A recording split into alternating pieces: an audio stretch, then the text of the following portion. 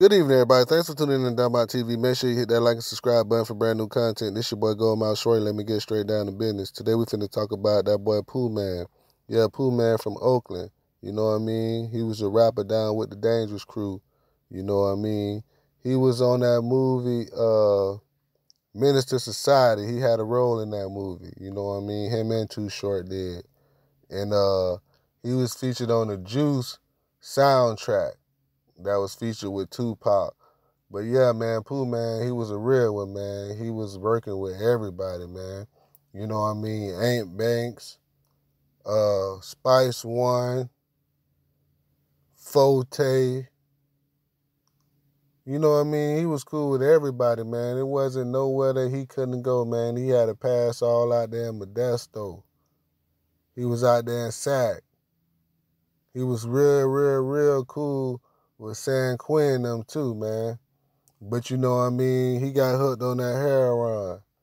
And he got hooked on that heroin. It just wasn't the same, you know, Pooh Man no more. You know what I mean? Pooh Man used to be about his money, man. And he was making records. He was, you know, he was Dangerous Crew for life, bro. He right up out the O. You know what I mean? He was there when MC Hammer put it down.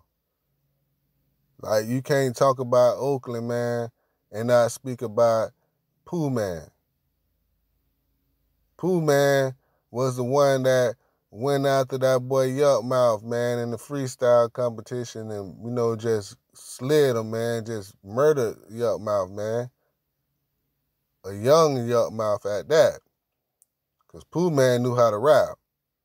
You know what I mean? Just a lot of niggas didn't know nothing about him, you know what I mean? But yeah, that nigga was right there, man. And he was there for a reason because he was there because of his muscle. He wasn't there because he can rap. He had good rap skills. No, he'd be able to beat your motherfucking ass if you told him you ain't like his music. So Too Short like, yeah, I like this nigga here. Because you know what I mean, if you don't like his music, he'll fight you. You know what I mean? But the nigga sold like a hundred thousand units, bro. Independently. From Texas back to Cali, niggas was bumping that shit. You know what I mean? He was down with MC Breed. You know what I mean? He was down with uh, Ice Cube. You feel me? He even was down with Brotha Lynch, my uh, yeah, Brotha Lynch, uh, hung them niggas. He was down with uh the Lynch mob too. You know what I mean? The nigga was out there, bro. You know what I mean? He was a major figure, but he was doing heroin on the low. So, you know what I mean? A couple years after his career took off, he had done spent all his money and shit, and the nigga robbed the Walgreens, bro. So he went to prison, got paroled out. You know what I mean? He went back to Ant Banks and uh Too Short. And you know what I mean? Rumors was this nigga here a dope head and shit like that. So, you know what I mean? He was still making his music or whatever. The album dropped so good. You know, the project they was working on. Now he came on some cheese. They was playing with his cheese.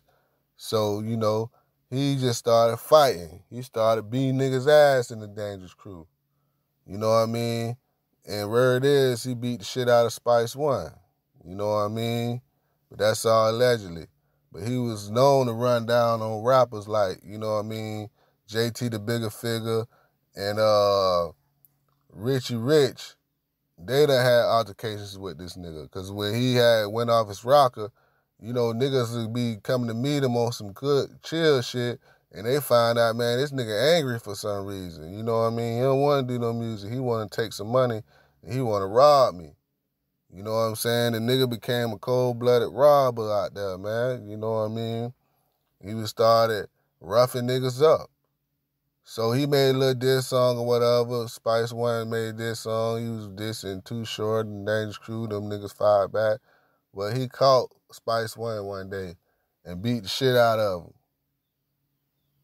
So everybody was like, yeah, this nigga hear the truth. But you know what I mean?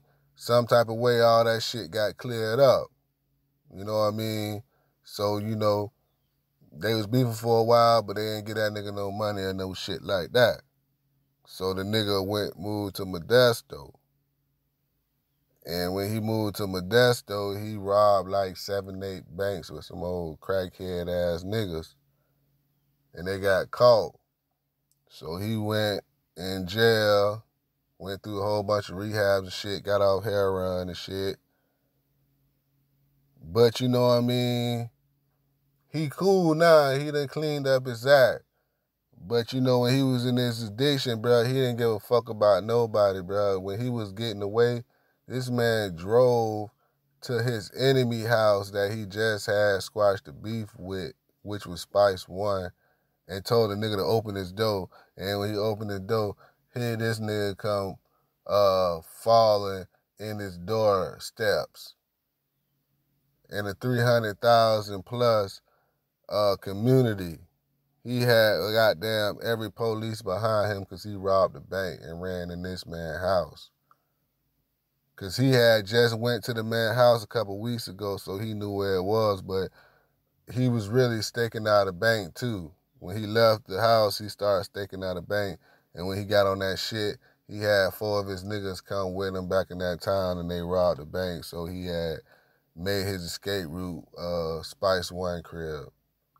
And Spice One got a lot of trouble behind that bullshit, man. But now everything all cleaned up, cleared up, you know what I mean? But that nigga, uh, Pooh Man was a motherfucker. Y'all don't know who he is. Y'all go check out that movie.